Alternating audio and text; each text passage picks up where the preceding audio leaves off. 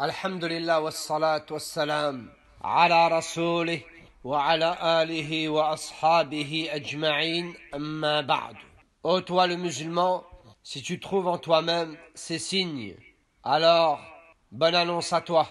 Le premier signe dans cette vie d'ici-bas, tu œuvres l'œuvre pieuse, et lorsque tu œuvres l'œuvre pieuse, alors ta poitrine s'ouvre, se tranquillise à l'œuvre pieuse.